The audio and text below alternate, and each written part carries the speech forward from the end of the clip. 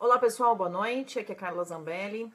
Uh, o pessoal pediu para a gente explicar um pouco mais a respeito desse regime de urgência que foi votado na Câmara sobre um projeto de lei que está tramitando agora, agora em regime de urgência, um projeto de lei 4424 de 2016. Uh, esse projeto, uh, o que, que, acontece, pessoal? Em, no, vamos esperar um pouquinho mais de gente entrar, né, ao vivo, para a gente poder explicar para mais gente já e o pessoal não, não ficar com problema. Vou até pedir para quem estiver entrando já aproveitar para compartilhar o vídeo e assim a gente garante que mais pessoas possam ver o, o vídeo, porque esse vídeo é muito importante que a gente haja de maneira pontual, rápida, é, amanhã. Tem que ser muito rápida a nossa atuação para que a gente possa evitar uh, o que está acontecendo. E também, é claro, é... aqui ó, já achei. Deixa eu compartilhar aqui até na minha página também. Para quem estiver na minha página já pode ver o vídeo ao vivo, né? Linha do tempo. Ao vivo agora. Como não tem ninguém para fazer isso, tem que fazer, né, gente? Vamos lá. Bom, acho que já tem algumas pessoas. É, tô de volta, Edila. É, primeiro comentar com vocês, pedir para vocês então compartilharem na página de vocês, tá? Um regime de urgência foi aprovado hoje, dia 7, no Congresso, à tarde. É um projeto de lei 4424. Uh, no TSE foi aprovado em dezembro de 2015 um projeto, uh, uma resolução, na verdade, que dizia o seguinte: o partido que não conseguir comprovar as suas contas poderá parar de funcionar, ter algum problema no seu funcionamento e, e, e falta de autorização para o seu funcionamento. Isso foi feito em 2015. Em 2016 eles não tiveram problemas, mas já entrou esse projeto de lei 4424 que pediria o quê? Ao invés de, numa reprovação de contas, o partido ser de alguma forma sancionado, né, ou, ou ser prejudicado, é, esse projeto de lei pede que o gestor seja responsabilizado. Então, uh, quem, quem foi responsável pelas contas, a pessoa física, seja responsabilizado e não o partido político. Bom, vamos lá.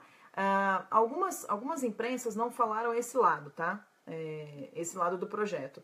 Que é um lado que vocês têm que tentar, de repente, cada um fazer a sua análise para ver se de repente, não, o partido tem que ser responsabilizado ou é a pessoa física que tem que ser responsabilizada. Ou nas ruas, ainda não conseguiu consultar nosso jurídico, vocês pediram para a gente fazer um vídeo é, explicando o que está acontecendo, mas a gente precisa sempre consultar o jurídico para saber qual é a opinião dele a respeito do projeto e para a gente tomar um posicionamento.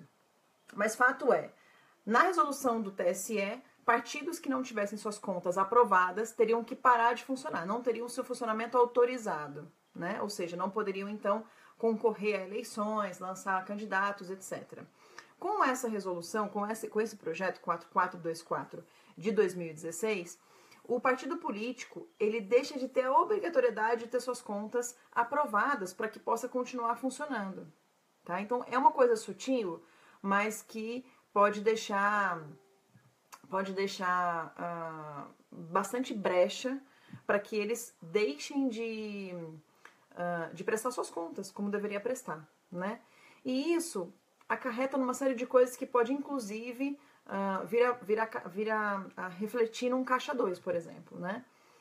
Então, uh, o que, que a gente espera de vocês? Eu acredito que vocês.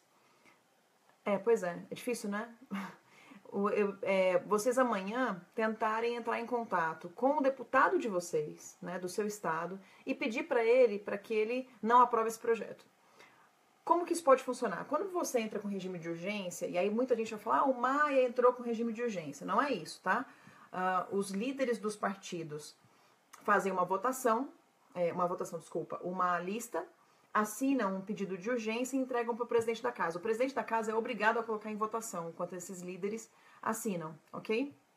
Então, uh, o Maia colocou em votação o regime de urgência e por 317 votos, 300 e poucos votos a 17, uh, o regime de urgência foi aprovado, tá bom? Então, o que acontece? É, pedir para vocês que entraram, por favor, é, compartilhar o vídeo para que mais pessoas possam, possam assistir, tá bom? Porque é algo que a gente tem que agir amanhã. Se vocês acreditarem que esse projeto tem que ser barrado, a gente tem que agir amanhã. E aí, lembrando, se 300 e poucos votaram pelo regime de urgência, provavelmente é, o, a votação tem que entrar 24 horas depois, então provavelmente não vai ser pode ser amanhã à tarde já votado.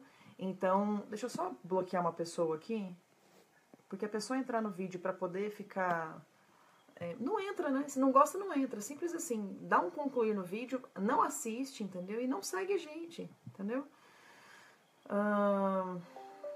então, o que a gente pede para vocês? Entrar em contato com seu deputado e pedir para que isso não, não, não, seja votado. Ou não seja votado ou seja discutido. Por quê? Porque o regime de urgência nada mais é que você pular umas, umas algumas etapas. Para que, que serve as comissões, gente? É para a gente poder discutir nas comissões o, o texto da, do projeto. E eles pularam essa etapa, ou seja, eles tiraram o projeto da CCJ, da Comissão de Constituição e Justiça, e levaram direto para o plenário sem nenhuma discussão sobre o texto. Então, uh, inclusive o deputado do, do Maranhão, é, Hildo Rocha, diz, pessoal, é, deputado do PMDB do Maranhão, e do Rocha, se tiver alguém do Maranhão aí, até não precisa bater nesse deputado, porque ele defendeu, inclusive, que isso seja levado para para a CCJ antes de ser aprovado no plenário. Então foi o único deputado ali que teve um pouco mais de noção e, e pediu para que os colegas não fizessem isso. O restante, aí, mais de 300 deputados votaram o regime de urgência pedindo para que então fosse, uh, fosse aprovado, enfim, o regime de urgência para ser votado logo. Pode ser que seja votado amanhã e pode ser que com a pressão de vocês a gente consiga com que isso não seja votado amanhã, para a gente ganhar mais tempo e trabalhar melhor essa, essa pauta.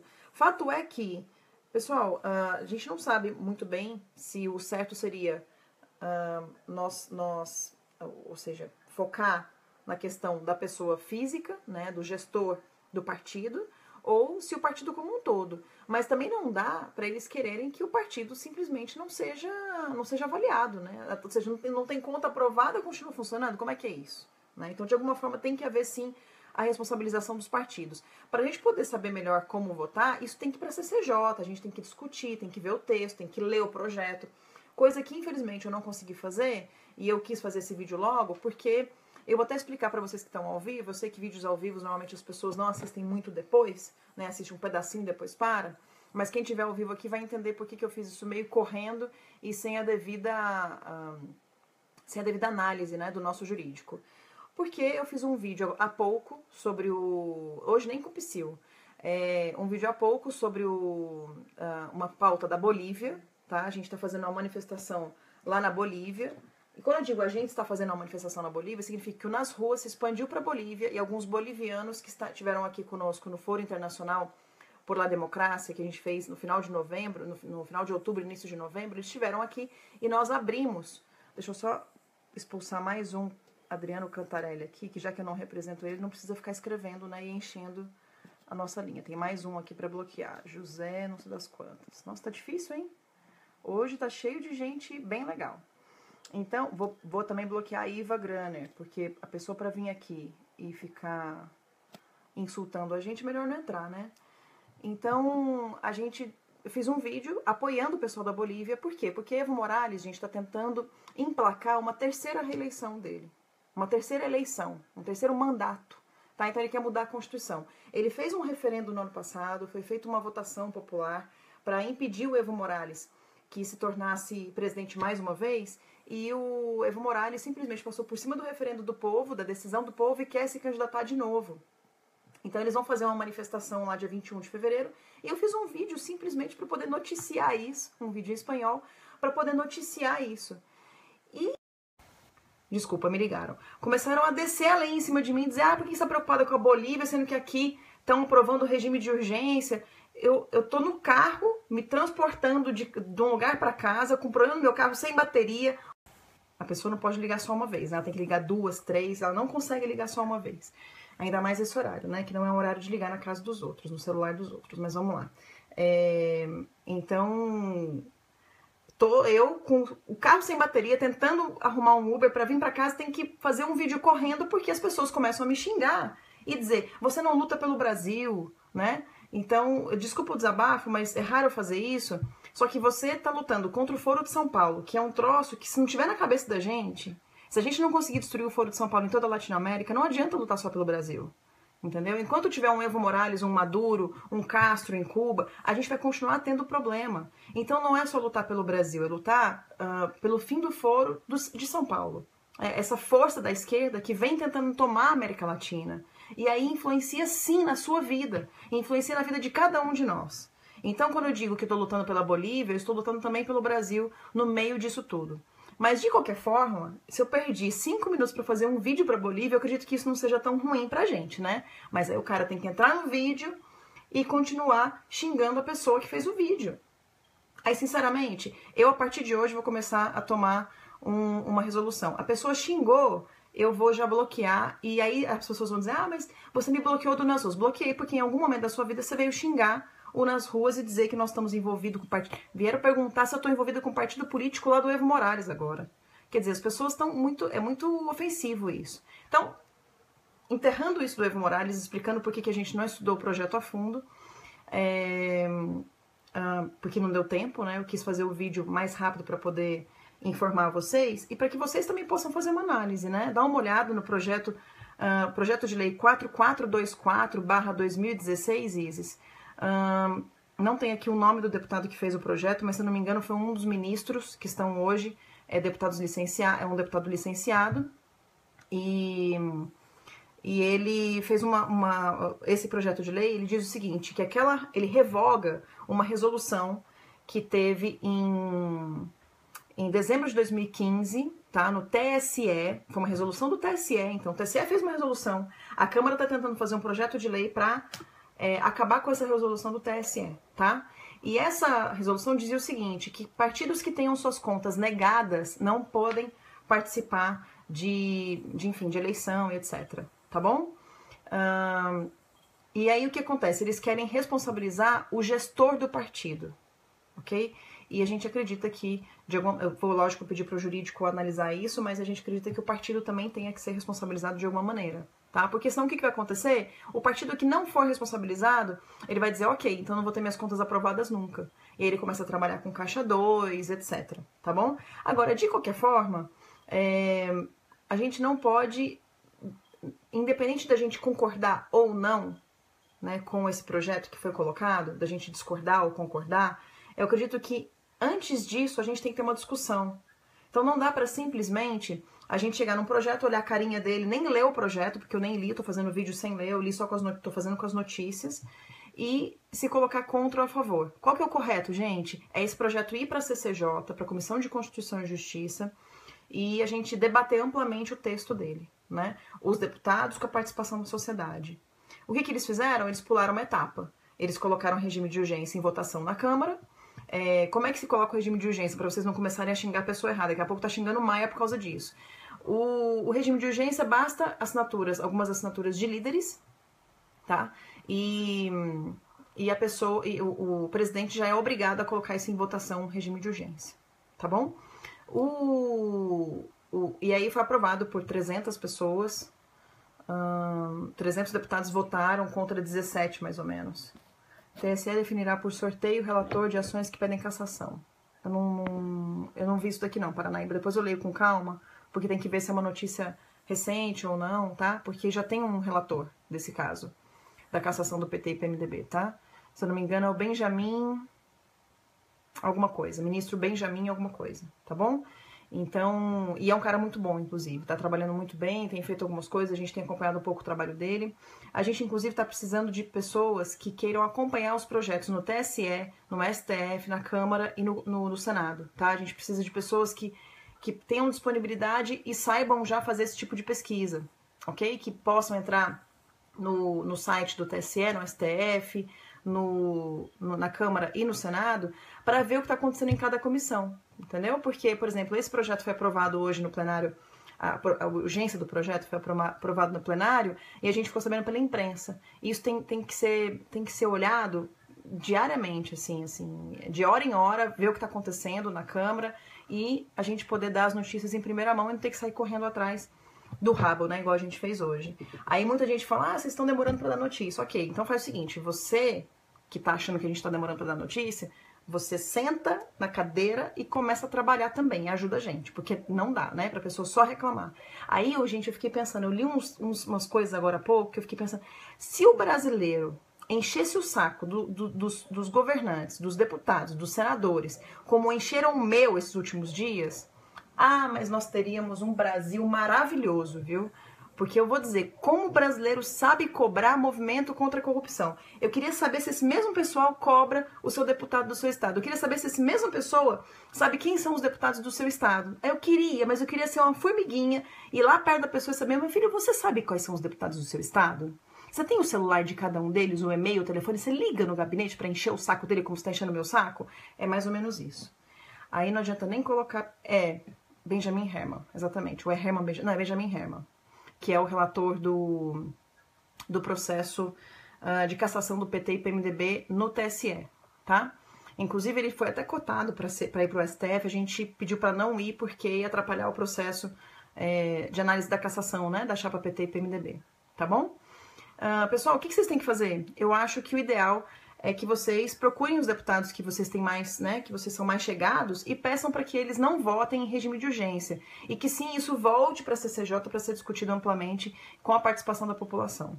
Eu acredito que essa seja a melhor coisa e não simplesmente dizer eu não concordo e ponto, tá? Porque isso seria é, a gente é, seria a gente tentar algo sem sem estrutura e sem, sem uma linha de pensamento, tá bom? Como a gente não tem tempo, é dizer, deputado, olha só, eu vi que vocês estão votando uma coisa em regime de urgência, eu nem conheço o projeto, eu quero conhecer melhor o projeto. E para eu conhecer o projeto, ele tem que correr em trâmite normal, né? Não existe nenhuma urgência, quer dizer, não vai ter eleição amanhã para simplesmente a gente decidir votar em regime de urgência, algo desse tipo, tá? No mínimo aí, deve ter algum partido que está encrencado com as suas contas, fez um lobby lá dentro para conseguir essa votação em, em regime de urgência, tá bom? Aproveitando que a gente tem 770 pessoas ao vivo, é, queria pedir para vocês, uh, aliás, falar para vocês também o seguinte: uh, tá aí, né? O governo tá aí tentando encontrar uma forma de escolher agora o seu o, o, o ministro da Justiça. Peraí, esse projeto que foi aprovado agora vai ser sempre assim? Não, entendeu? Me ajuda, Carlos, não tô nem aí. Marco Antônio, eu, eu desculpa, tá? Mas esse tipo de, de, de comentário seu não ajuda em nada, tá bom? Você, você não tá propondo nada. Você não tá ajudando, você tá só reclamando da vida. Sabe aquele, aquele personagemzinho? É, ó céus, ó vida, ó azar? Desculpa, isso não funciona, tá? Esse tipo de discursinho não ajuda, tá bom? É, a gente, inclusive, fez um vídeo hoje sobre o Espírito Santo, viu, Arthur? É, eu vi que você, você comentou aqui sobre a questão do Espírito Santo. Então, quem puder dar uma olhada nesse vídeo, quem tiver algum amigo do Espírito Santo, a gente fez uma homenagem ao pessoal do, do estado do Espírito Santo tá? É... Pessoal, olha só. Tá ruim? Tá ruim. Mas, e ó, tem mais um Wilson aqui xingando também. Peraí que eu vou bloquear também. Pronto. Mostrando o dedinho. Pode mostrar. Sou ditadora mesmo. É isso daí. É... O negócio, gente tá aqui porque, porque concorda. Não concorda, não precisa estar aqui. É simples assim, sabe? Ah, não gosto de você, ok. Achei chata. Tá bom dá um concluir no vídeo e não assiste mais. Ah, desculpa, gente, ó, tô por aqui, viu? Pronto, falei. E nem, e nem tava brava, viu? Mas você faz a coisa com bom grado, né? Faz um vídeo, aí edita, coloca coisinha, coloca o logo, aí vem um cara te xingar porque você fez um vídeo de apoio à Bolívia. Desculpa, não vou mais aceitar esse tipo de, de coisa. Quem não quiser, quem não estiver satisfeito, que monte o seu movimento, que faça os seus vídeos, que não assista mais, que xingue seu deputado, mas não vem xingar a gente porque não vou mais aceitar. Simples assim. É, o, pessoal, hoje também eu fui na corregedoria da Polícia Militar. É um projeto que corre em sigilo, então não vou poder falar sobre o que, que é, mas quando eu puder falar, que tá aqui entalado na minha garganta, é, é um absurdo o que fazem com a polícia, gente. Eu fui, lógico, defender a polícia, né? Prestar depoimento para defender a polícia. Mas terrível que eles fazem, viu? O que que... Newton postaram nas ruas Boston o quê? A situação do Espírito Santo está cada vez pior. Agora estão dizendo que marginais do Rio estão indo para lá. É tudo é possível, né? É perto e se não tem polícia para ajudar, a população vai ter que fazer alguma coisa. É, é, bom isso daí. Vocês me desculpem assim, é bom só o, o, o caos, né? A criação do caos é bom porque não é pela, pelo que está acontecendo. Lógico que a gente sente muito as mortes, tá bom? São 75 mortes nesses últimos três dias, mais ou menos. Ou seja, muita gente perdeu as suas famílias. Mas a população tem que começar a dar um pouco mais de valor nas suas polícias, né? E hoje eu tive na, na polícia, na corregedoria da Polícia Militar e eu sei o que eu estou dizendo, né? E não é só a Polícia Militar, gente, Polícia Federal, Polícia Civil, eles não são valorizados. É, a, a, questão da previdência a, a, não tá legal para a polícia. Amanhã, inclusive, vai ter uma manifestação em São Paulo pró Polícia é, é, Federal e às 11 horas da manhã, em frente à Polícia Federal aqui de São Paulo. Vai ter também em Brasília, para quem for de Brasília. Eu vou tentar estar tá lá. Eu preciso levar meu filho no médico, mas vou tentar estar tá lá. E para dar uma força para eles, porque gente, a polícia, a polícia, as polícias em geral do Brasil são muito mal, uh, tem muito pouco recurso, são mal remuneradas, sofrem muita muita avacalhação, né, desse, desses direitos humanos, então é uma é uma é difícil, tá bom? Maria do Rosário vai lá apaziguar, é, vamos mandar a Maria do Rosário lá, né? Dizer que sente muito pelas mortes das, das vítimas, né? Já que já que polícia civil, polícia não serve para nada, não é isso que ela fala? Que o. Como é que como é que chama o Gregório? Cadê o Gregório agora, do Vivier? Fala pro Gregório lá. Dizer que sente muito pelas, pelas mortes do, do Espírito Santo. Não é não?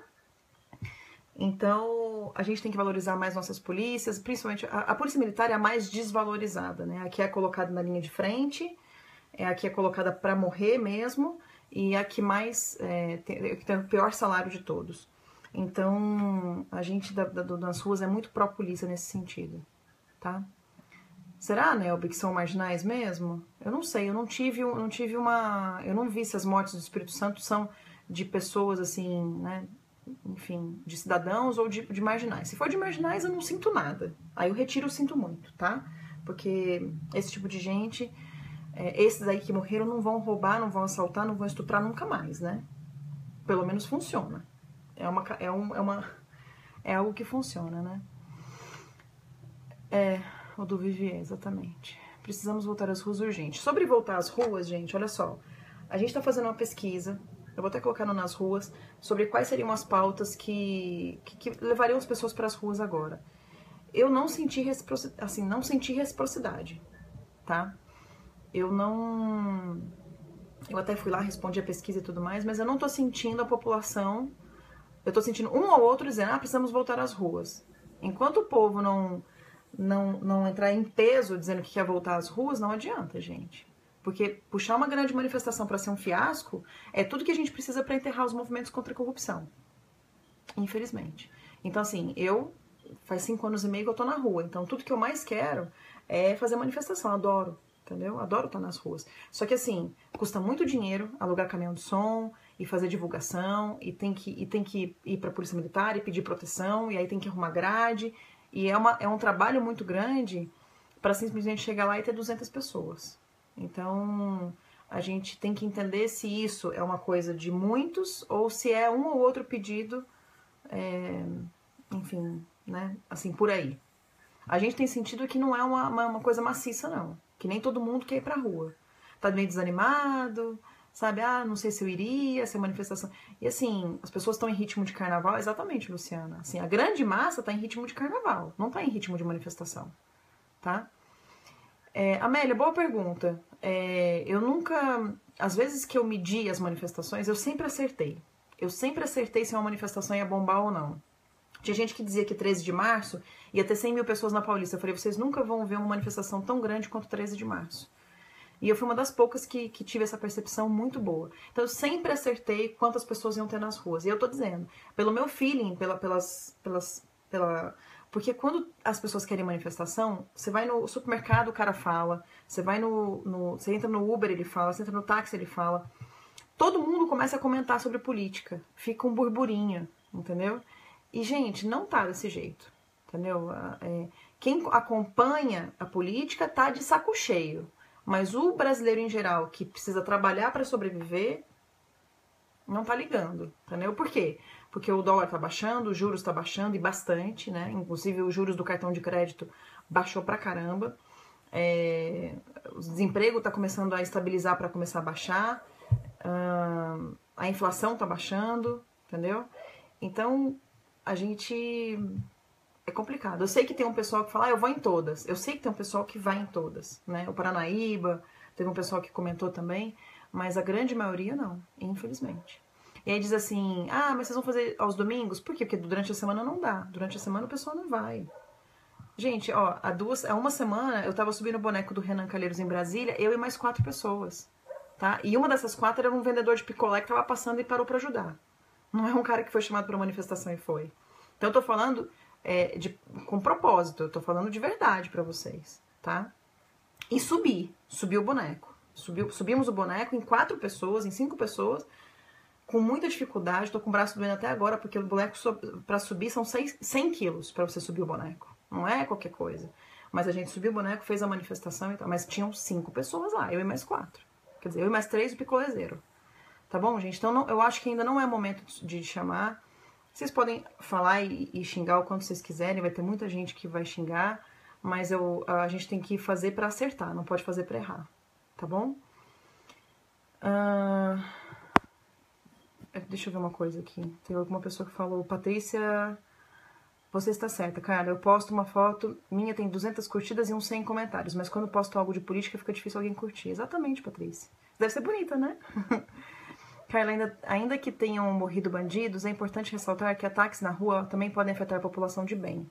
Morte em presídio é outra coisa, com certeza. É...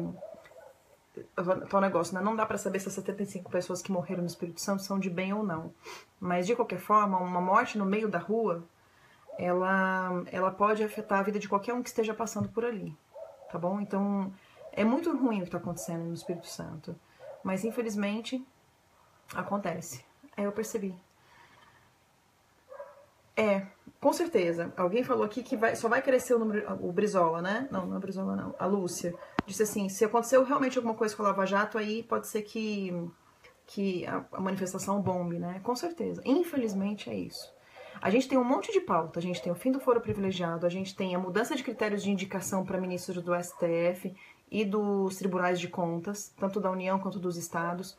A gente tem pauta de fim do desarmamento, a gente tem pauta do, da reforma política. É...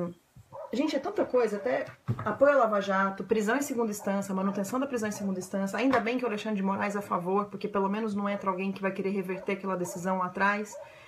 Então, pessoal, ah, tem tanta coisa para a gente pedir que uma manifestação de rua poderia ajudar tanto né, a pressionar o governo, mas se a gente der esse tiro e esse tiro não for no alvo, a gente vai perder a, a credibilidade, vai perder quem foi, vai ficar desanimado. Então, é, tem que ter muito cuidado com esse tipo de coisa. Eu espero que vocês entendam, tá bom? Então, o que, que eu vou pedir para vocês? Amanhã entre em contato com o seu deputado e peça para que ele, nesse projeto 4424 de 2016, que esse projeto seja levado lá para a CCJ de volta para ser discutido uh, amplamente com a população, porque do jeito que tá, a gente não pode aprovar uma coisa do dia para noite sem entender o que está dentro desse projeto, tá bom? Acho que é isso, gente. Eu vi também isso daqui, é, Mariluz, já é um pouco antigo, tá? Essa questão da, do salto salarial e pacote de benefícios do judiciário. O Nas Ruas já fez, inclusive, uma, uma um, uma nota de repúdio a isso, a esse projeto. No momento que a gente está vivendo econômico do país, o judiciário querer é, subir o seu salário, aumentar os seus benefícios, inclusive para os filhos, é, acho que tem até benefício de pagamento de faculdade, etc. Gente, está fora de, de, de, de, possibilidade, tá? A gente não vai apoiar de jeito nenhum. Carla, sobre o Renan Calheiro ser ministro da Justiça. Eu vi isso daí. Eu acho que a gente precisa começar a bater desde já. O que, que, eu, que, que eu acho que é o mais certo?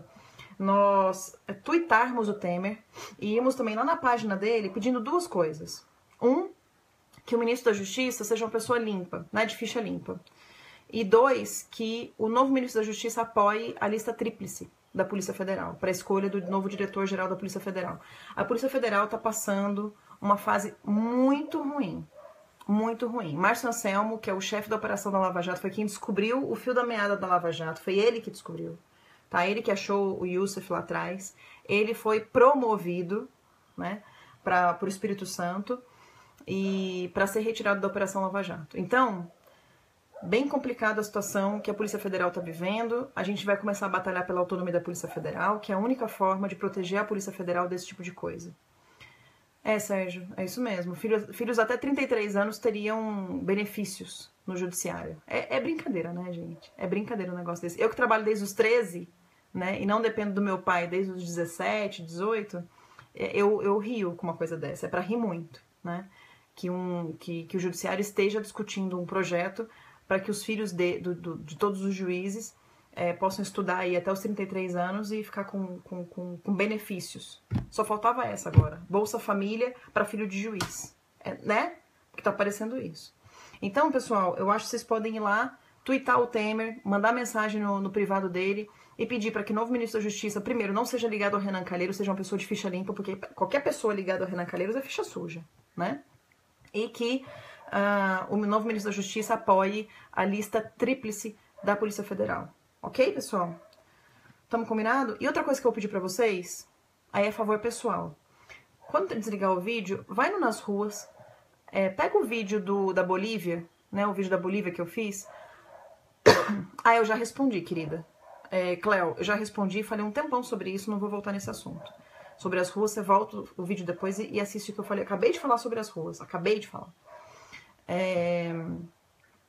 Uh, por favor, assistam esse vídeo da Bolívia, porque eu vou repetir o que eu falei agora há pouco, porque já faz uns 10 minutos, foi no começo do vídeo. O que, que acontece, gente? A Bolívia está passando por uma situação seguinte: o Evo Morales quer uh, ser reeleito pela terceira vez. Pela terceira, não, né? Ele foi eleito uma vez, passou pela segunda, agora ele quer ser a terceira, tá? Ele quer ter o terceiro mandato, ser reeleito pela segunda. Então, um, eles fizeram um referendo no ano passado, dia 21 de fevereiro, vai fazer um ano agora e nesse referendo, as pessoas votaram para que o Evo Morales não pudesse passar por uma nova reeleição, tá? E o Evo Morales está tentando mudar a Constituição para poder ter uma segunda reeleição. Quer dizer, ele quer ter um terceiro mandato. Isso é coisa de ditador, né? E mais ainda do que isso, as urnas lá são fraudadas. Então, se ele for candidato à reeleição, ele vai ganhar, tá? É, que, que, a gente fez? A gente fez o. Claro, é porque você, você falou como se eu tivesse que responder de novo. Eu já tinha acabado de responder, entendeu? O... Então, o que acontece? Eu fiz um vídeo para apoiar uma manifestação que o nosso movimento nas ruas, que lá se, se chama Las Calles, uh, que o nosso movimento lá faça uma manifestação no dia 20. Eles vão fazer uma manifestação no dia 21 de fevereiro deste ano. E e a gente está apoiando essa manifestação. É, é a nossa filial lá da Bolívia. E aí vieram me xingar, dizendo que eu não deveria estar tá perdendo o nosso tempo com a Bolívia. Primeira coisa, pode deixar. Primeira coisa, é... o Evo Morales é chefe do tráfico de drogas na Bolívia. Chefe do tráfico de drogas.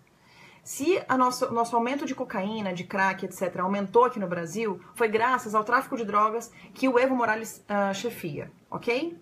Ele tem abertura dentro do nosso na nossa, na nossa costa, né, para poder entrar com a droga aqui dentro.